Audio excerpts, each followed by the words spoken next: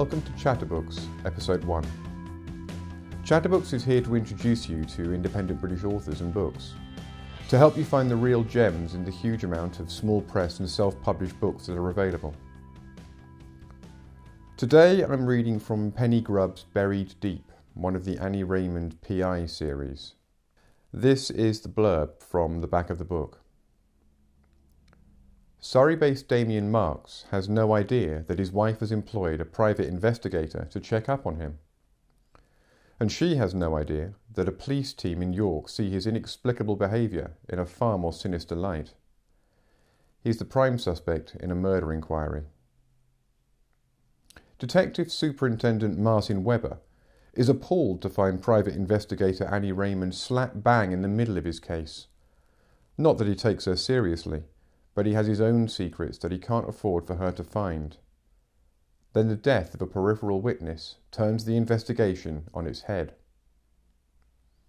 Meanwhile, oblivious to the entanglements of the adult world around her, schoolgirl Olivia Lamb hugs to herself the secret of the ghost hands she saw in the surging waters of a York flash flood. Prologue Annie Raymond snapped from relaxed to full alert, senses tingling, and for a moment she couldn't be sure why. Her target, Damien Marks, hadn't moved from his table in the window of the restaurant down the street, nor had he taken his phone from his ear. Crowds still bustled in all directions, drawn by the unseasonal sunshine. It was Annie's first ever visit to York, and it had been an unexpected destination. Until just now, She'd felt more like a tourist than a private investigator.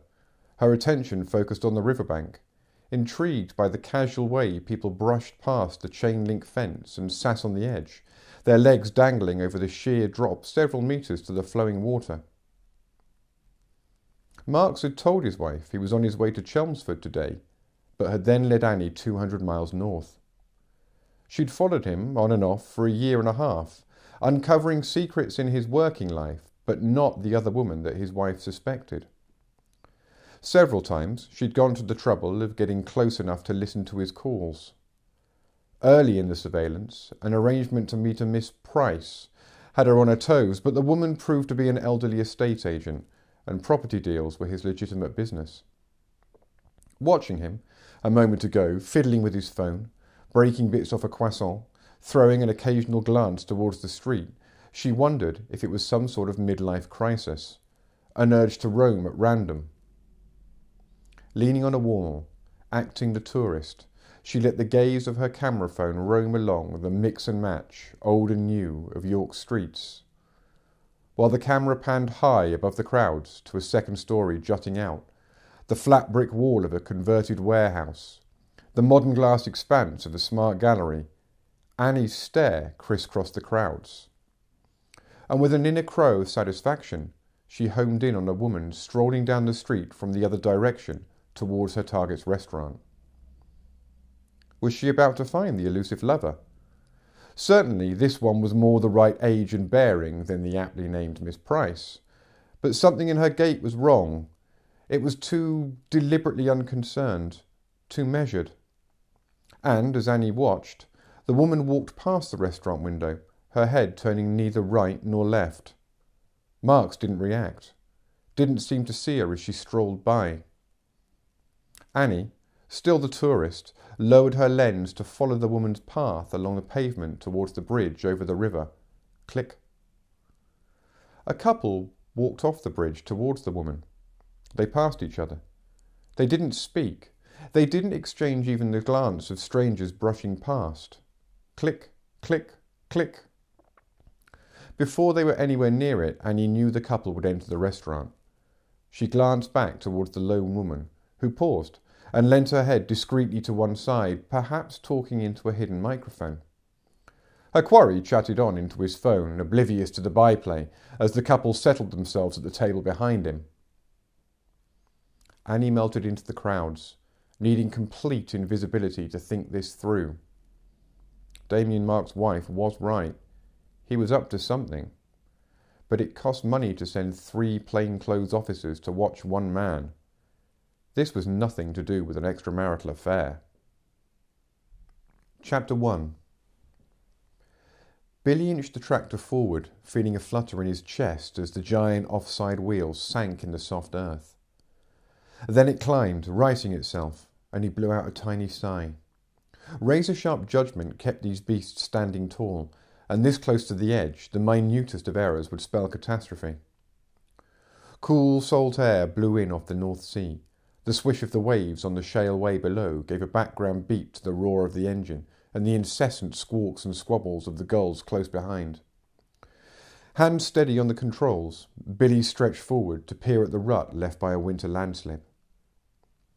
In less than a minute, he'd be on the other side of it, back on solid ground, the field ploughed to its edge like it should be. Inside his head, he smiled. Outwardly, his face showed no emotion. The gang with their metal detectors would be delighted a new strip of ploughed earth that hadn't been disturbed in decades. He ran his tongue round his lips. They dried. The old man might pretend to be shocked, but he'd be pleased too. He'd laugh that cracked laugh of his. You old soak, Billy. So you did it, did you? She wouldn't laugh, though. The old man's daughter. That slip of a girl, fresh out of college marching in, giving the orders like she knew more than they did about the land they'd farmed between them for decades. He and the old man always bantered about this stretch. He'd say, How about it? And the old man would say, Good idea, Billy, good idea.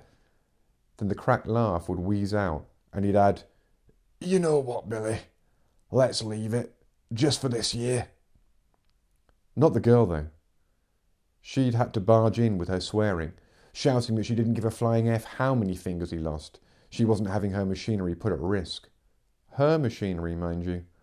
Things would be done her effing way now if they wanted roofs over their heads. She'd seemed to include her father, the way Billy remembered it.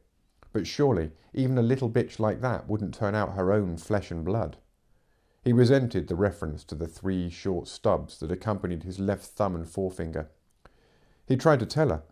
A man who'd had a tractor topple on him didn't let it happen a second time. But he wasn't good with words, not when he was all het up. She growled at him that she'd break his effing neck if he effed up her new tractor. His mind skipped over the changes she'd brought in since she'd burst back into their lives. She might not have to turn anyone out. If everything were done her effing way, the farm would be bankrupt in a year. He eased the beast forward, hand steady, as the huge vehicle tossed him one way and then the other as it bounced in slow motion into the rut and out again. As he felt the wheels pull forward towards familiar ground, he saw the split deep in the clay. The weight of the tractor, bouncing into that rut, had ripped the ground apart, a gash running sideways towards the headland. His half hand pushed against the lever. Sudden shock coursing through him as static exploded from the radio. What do you think you're effing doing, Billy? snapped her voice, filling the cab, disorientating him. His head whipped round as though expecting her to have materialized beside him. He stared out across the earth, bewildered. Thirty empty acres stared back. Her yelling rang in his ears. He didn't reach for the radio. His insides had turned to jelly. His heart beat hard enough to burst it out of his chest. Mechanically, he let the tractor roll on until its huge metal tail was clear of the danger area. Then he stopped it. There was no urgency to his movements. It was as though he watched from outside himself, just as she was watching him, while she shrieked at him to get a move on, to pick up the effing radio, and to tell her what he thought he was playing at. He realized she must be right up in the top road with binoculars to be able to see him so clearly. She'd gone to some trouble to spy on him. I told you not to go near the edge, her shout crackled through the radio. And don't you dare get out of that cab. Pick up the radio, Billy, now. She hadn't told him not to go near the edge. She hadn't actually said it. Climbing down, he barely felt the sharp tang of the sea breeze. It was as though he'd been wrapped in an invisible cocoon. Her words meant nothing. The trouble he'd be in for ignoring her meant nothing. He stumbled as he picked his way over the churned earth.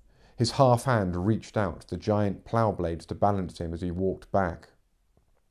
He noted that even she, with her swearing, couldn't compete with the fat plume of scavenging gulls clustered around the metal tail of the tractor.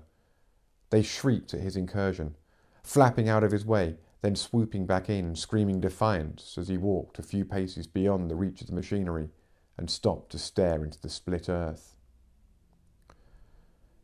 Bit of an old toy, he tried to tell himself. Nothing more. But the old man had kept him off this stretch for years, and she, with her swearing, had taken the trouble to come and spy on him. No cocoon around him as he stumbled back towards the cab, tears coursing down his cheeks, following the deep lines etched into his skin. I've not cried since I were a nipper, he thought. Static from the radio began to balance and then drown out the squabbling seabirds. She was still at it. Effing this, effing that. What you effing crying for, Billy? That was a keen pair of binoculars she was using, wherever she'd stationed herself. As he reached into the cab and picked up not the radio receiver, but his mobile, her swearing took on an air of disbelief. Billy, pick up the fucking radio! Billy! and he did. He opened the channel so she could hear his call. If you want to read more of this great novel and the others in the Annie Raymond series, then go to www.john-d-scotcher.co.uk forward slash chatterbooks. There you'll find details of how you can buy the book. Next time, I'll be reading from My Life Hereafter, young adult fiction by Lynette Ferreira. I'll see you then.